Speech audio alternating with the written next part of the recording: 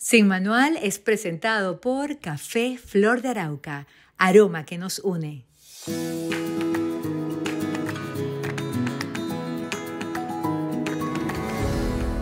Hola, ¿cómo están? Gracias por estar en Sin Manual, gracias por abrir esta ventana, gracias por comunicarnos, gracias por permitir que estos mensajes pues lleguen a tu corazón, lleguen a tu alma y, y bueno, Vamos cada semana construyendo esos mensajes optimistas, donde lo que nos invitamos a nosotros mismos, a todos, es a buscar la mejor versión de cada uno de nosotros. En este capítulo de Sin Manual nos toca irnos a Miami, donde está mi invitado. Se trata de Luis Carlos Weck. Él es productor, director, guionista, actor de cine venezolano. Luis Carlos, gracias por estar en Sin Manual. Gracias a ustedes por la invitación, contento de estar aquí contigo, con ustedes. Bueno, y cuando uno dice papita, manitos, todo, ya te fastidiará que te reconocen es nada más por eso, o te reconocen por otras cosas, pero las tres palabras mágicas, ¿no? Para, para, abrir puertas, definitivamente esa gran producción que hiciste hace ya algunos años y como la película más taquillera en la historia de Venezuela. Sí, esa película, gracias a Dios, la vio todo, toda, toda Venezuela y, y, es como tú dices, me abre las puertas donde sea y, y, siempre es con una, una sonrisa y unos ojitos de risueños me dicen que vieron la película y que les gustó mucho y que cuando sacamos la 3 y eso a mí me encanta, me encanta. La verdad es que a veces uno se imagina que las cosas tienen que ser como que muy complicadas y, y, desde el título, ya es un título tan llano, tan familiar, tan cercano, incluso tratar sobre el béisbol, algo que nos une tanto o que nos separa, porque yo, por ejemplo, con Eduardo Rodríguez no quiero nada, no mentira, caraquista ahí, pero bueno, no, no, no, lo amo, nos amamos. Luis Carlos, este no es un podcast de cine, pero vamos a ir eh, detrás de, de, este creador que eres tú, detrás de este ingenio, de esta capacidad. Hay un ser humano, un hombre, que además tiene un buen sentido del humor y que mm, en esta oportunidad ahora está por regalarnos, bueno, ya está listo, por estrenarse en Venezuela, una nueva película. Una nueva película que tiene un nombre bastante inspirador y bastante fuerte, a la vez muy sencillo, a la vez muy llano. Porque bueno, vuelve a la vida, que incluso es una, es una frase que a veces hasta con sentido del humor se usa para, mira, dame un vuelve a la vida en la playa y todo lo demás. ¿De qué va vuelve a la vida y, y por qué justo ahora es cuando eh, vas a, ventilar una producción que entiendo le hicieron en 2016 y que habla de tu vida?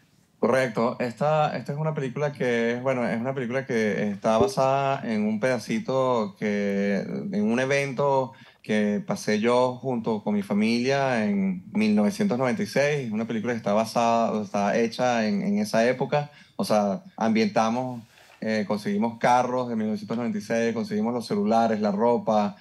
Eh, nosotros eh, quisimos hacer esta película ahorita porque, bueno, qué, qué, mejor, qué mejor título que vuelve la vida después de estar encerrados en una pandemia horrible. Yo creo que, mm, y también tiene ese, ese, eso que tú dices del título, es como vuelve a la vida, rompe colchón, siete potencias, eso, eso que tanto hemos escuchado en la, en la playa. Eh, creemos que, que es acertado estrenar ahorita en diciembre, que es una bonita época en, en, en, Venezuela. Y bueno, es una, es una película familiar que trata de eso, sobre cómo reponerse a, a eventos que, que en, en, ese momento puede, puede ser lo peor que te ha pasado en la vida y resulta que, bueno, que, que es más como un aprendizaje. Volver a la vida. No hay nada más maravilloso que una segunda oportunidad. Pero antes de seguir con el tema, quisiera que me aclararas algo, porque me estoy dando cuenta que tienes una gorra que dice Caracas. Me imagino que es porque añoras la ciudad, pues estás en, eh, fuera de Caracas, o es que tú eres caraquista. las dos cosas, las ah. dos cosas. Ricardo, tú no me contaste esta parte, Ricardo, Ricardo. Mira, Luis Carlos, hablaba eso de, de, de las segundas oportunidades y las terceras y las cuartas, porque uno no agradece, uno no le agradece a Dios, quien cree en Dios, al universo, quien cree en el universo, bueno, a la existencia misma, esa, ese milagro de estar vivos. Y, nos van pasando eventos que nos dan nuevas oportunidades, hasta que, bueno, me imagino llegará uno que ya no hay más oportunidad. Pero, ¿cómo cambió tu vida ese evento que te hizo detenerte y como yo lo describo, uno va, se cambia el hombrillo de la vida por situaciones, bien sea de salud, pero bien sea duelo, bien sea cualquier problema intenso y profundo, te lleva al hombrillo de la vida desde donde ves cómo van de rápido los demás, cómo ibas tú de rápido, y estás en un sitio lleno de incertidumbre, lleno de, miedo. Y, y, bueno, quería que me hablaras acerca de ese retorno a la vida eh, después de esa, una experiencia que viviste hace, hace tantos años en, tu juventud. Sí, mira, este, fue como un, como un despertar. Es como, es como ya va, espérate, yo estoy aquí y nunca había visto el cielo que es tan bonito, los árboles que son tan verdes, los pajaritos, no había apreciado tanto estar con mi, con mi familia. Em, yo creo que ese evento cambió mi vida para siempre y es lo que, ese evento es lo que hace que yo me convierta en el cineasta que soy hoy en día porque, es, porque yo tenía mucho miedo de, de hacer cine, sobre todo más, más en Venezuela. Eh, yo decía, bueno, el cine, ¿quién va, quién va a poder vivir del cine en, en, Venezuela? Y, y, al final ese evento me dijo a mí mismo como, como mira, o haces lo que te gusta, así sea como te vaya, o, vas a seguir en esto como un zombie. Entonces, yo creo que el mensaje de la película está allí, está en, en tratar de, estar presente, presente y estar eh, conectado con, con, la gente que te quiere, quitar todo lo malo que te rodea y todas esas personas negativas y, y estar feliz con, con, lo que eres y feliz con uno. Y yo creo que ese evento nos cambió a nosotros para siempre. Como familia, somos una familia muy unida, gracias a Dios. Y, y bueno, estamos todos en, en, en esa onda de, de, de, estar presentes y de, y de hacer lo que, lo que nos gusta. ¿Qué parte del evento puedes contarnos? Eh, bueno, fue una enfermedad, es una enfermedad que necesitaba un trasplante de médula ósea y, y bueno, en ese momento hace tantos años, 20, creo que son, fue en 1996, ¿serán cuántos? Casi 24, 25 años, 26.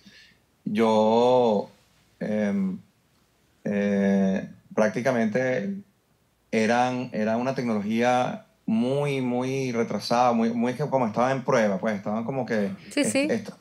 Esta, estos métodos, estos protocolos de, de médula ósea eran muy, estaban empezanditos, entonces la, la esperanza era poca, pero em, me pasó algo bien chévere con el doctor, al final conseguimos un, un, un hospital en Washington que era como de investigación, pero el doctor me dijo, mira, yo te voy a dar a ti la medicina, te vamos a dar aquí la medicina que es el 1%. El 99% son tus ganas de curarte, es tu actitud, y si tú quieres salir de aquí, vas a salir. Y entonces la, la película se trata de, eso, pues, o sea, ese mensaje tan importante que queremos lanzar al mundo de, de el, el, el, tiempo es ahora y, y es ya, pues, y, y aprovechalo porque es limitado. Y entiendo que, que, tu familia pues no tenía los recursos. A mí también me hicieron un trasplante de médula y fue gracias a un seguro internacional que se pudo pagar casi el millón de dólares que costó el trasplante de médula. Eh. En tu caso, que tuvieron además esa suerte, o sea, cuéntanos cómo, cómo pudiste acceder a ese, o si te hicieron realmente el, tratamiento, el, el trasplante o fue un tratamiento alterno que también tuvo éxito.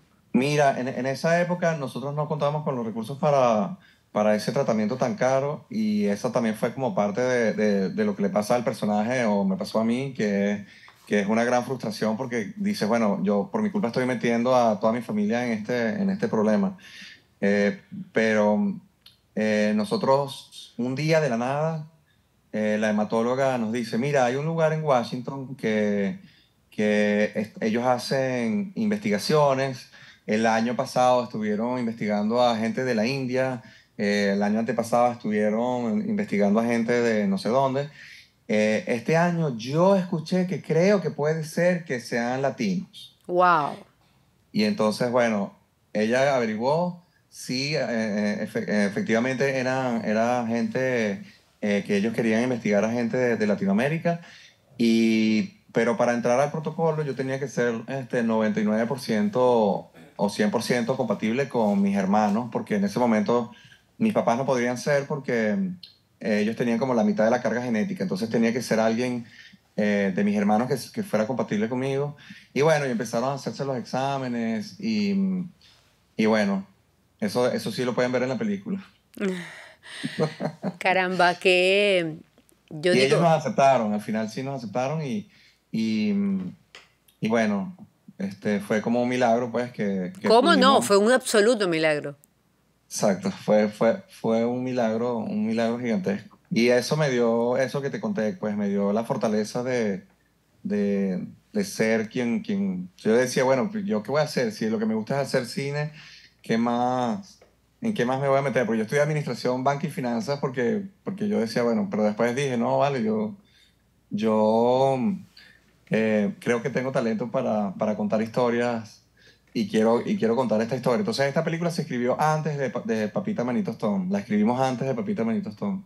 Eso, eso te iba a preguntar, que porque después de una vivencia tan intensa, tan profunda, tan devastadora, eh, ese renacer y luego levantar, porque cuando hablamos de un trasplante de médula hablamos del sistema inmunológico, hablamos de una debilidad extrema, hablamos de cero glóbulos blancos, hablamos de, bueno, después de una experiencia así, eh, ¿por qué postergaste? ¿Por qué decidiste ir primero con Papita Manito Stone y, guardar este, este tesoro de vida y de, además de una experiencia personal?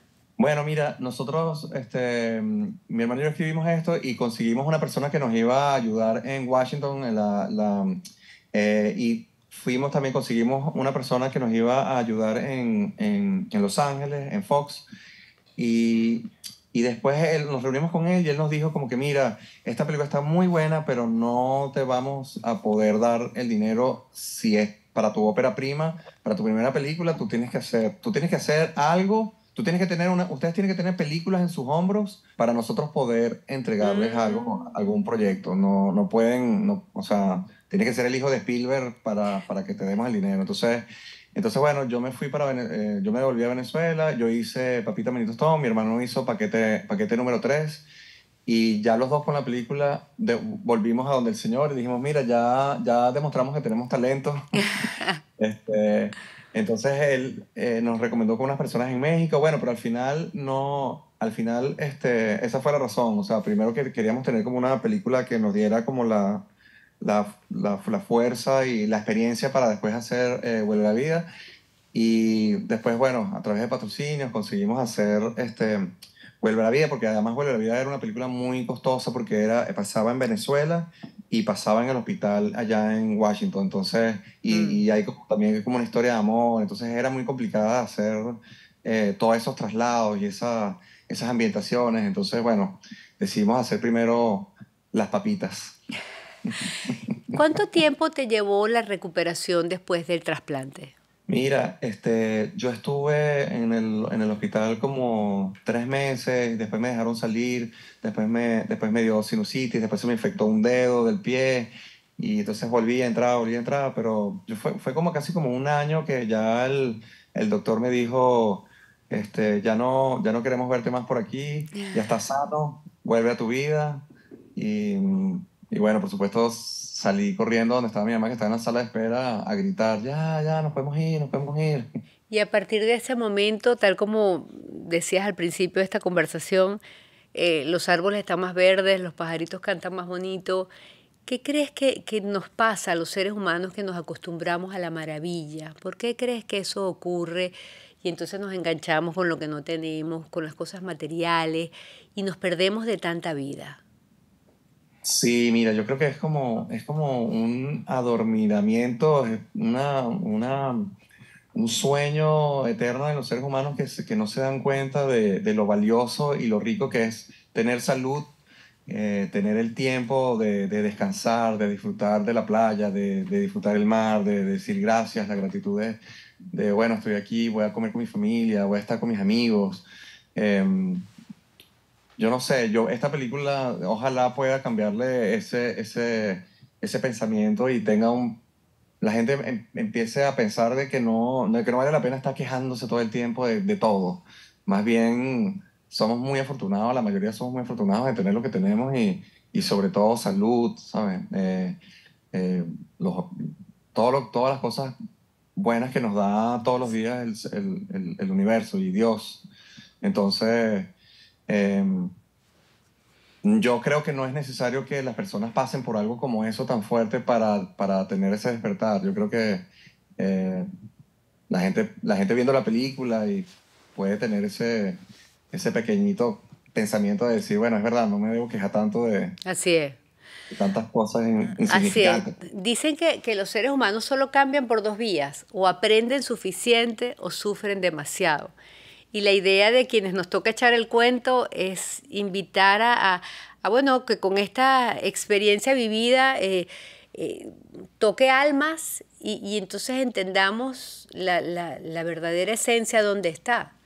En, en, ese año de recuperación, pero luego, antes de, de, del trasplante, pues todo ese proceso de la enfermedad, llegaste a perder la esperanza, eh, llegaste a, a, pensar que, que, bueno, nada, listo, que, que te ibas a ir y punto. Sí, sí, por supuesto. Eh, pasó, pasó por mi cabeza bastantes veces y la verdad yo estaba como muy, me, me deprimí mucho porque yo tenía muchos planes eh, de ir a la universidad y de, y de estar y, y, de, y, de, triunfar y tal. ¿sabes? Esos pensamientos de niñitos que uno ya tiene todo planeado en la vida y tal, o, o más o menos, que tenías como una... Y entonces de repente pasa esto, entonces la pregunta que nos hacemos todos que pasamos por eso es ¿por qué a mí? ¿no? Entonces, ¿por qué no al malo? ¿Por qué no sé qué? Entonces, claro, uno entiende, bueno, me pasó a mí por alguna razón y, y bueno, aquí, aquí estoy, hice una película sobre eso y, y, es eso, lo que tú dices, tocarle el alma a alguien y, y, y ver qué pasa. Yo también, eh, eh, durante el tratamiento también, un día me sentía tan mal que, que, que perdí la esperanza. Yo dije, bueno, aquí. Aquí, aquí me fui y no había ni siquiera Instagram para que la gente me pusiera la foto en Instagram en esa, en esa época. Por lo menos en la mía sí había Instagram. ¿Sabes? Que si te, si entonces no, te, se empiezan a poner fotos contigo. Yo estuve con el de Papita Benito todo. El lacito y la cosa. Sí, sí, sí, bueno.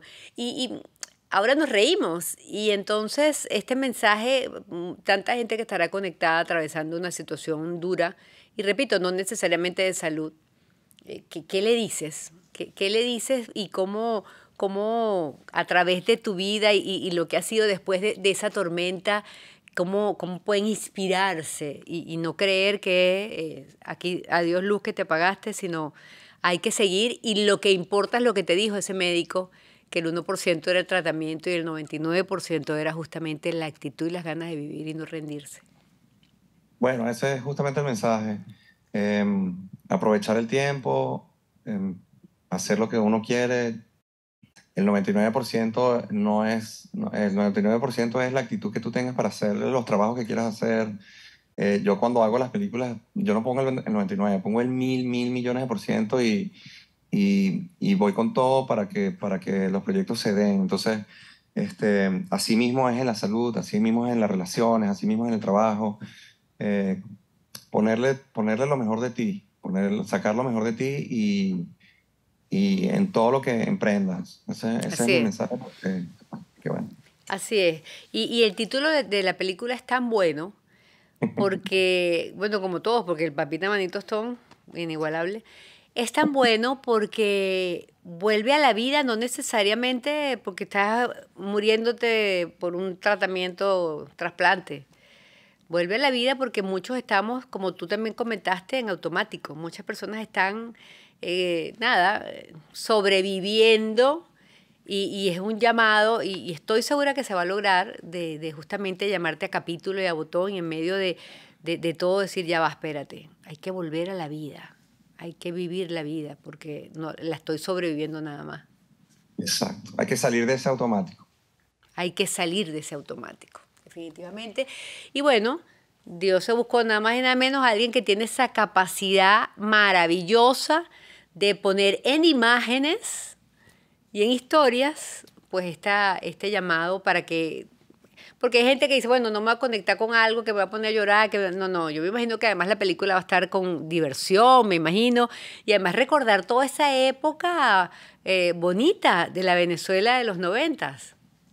Sí, tiene, tiene ese toque, tiene mucha comedia, por supuesto. Este, eh, y además tiene eso, nosotros crecimos, por lo menos yo y mis amigos, crecimos en Chichiriviche, entonces ah, está, está eh, grabamos en Morrocoy, grabamos en Calle Sombrero, fuimos a estuvimos grabando en Margarita, grabamos en El Ferry, eh, grabamos en La Guaira, por supuesto Caracas.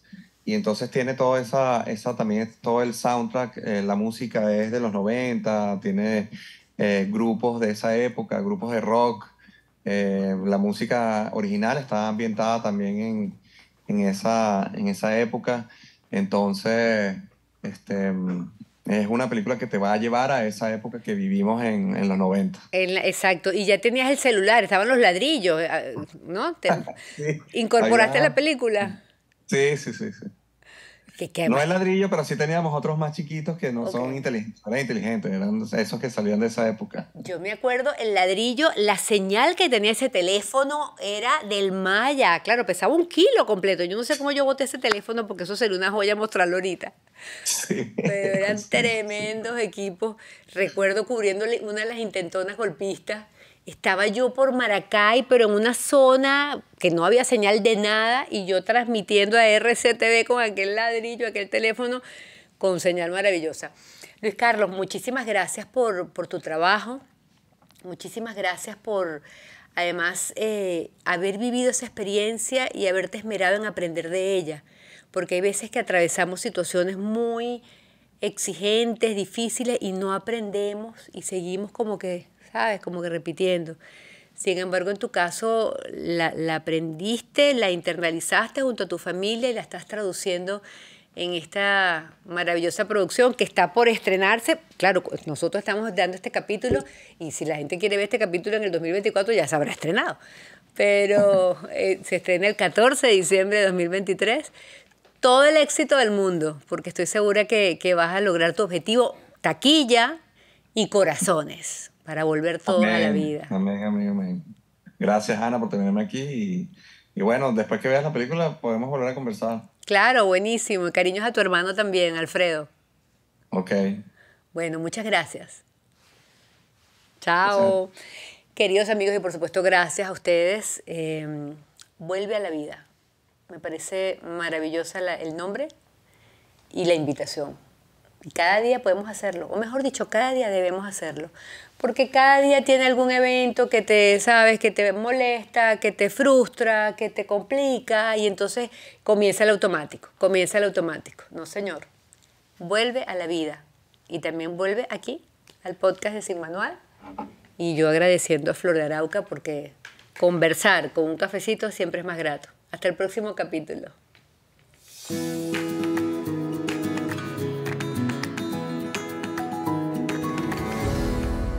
Sin Manual fue presentado por Café Flor de Arauca, aroma que nos une.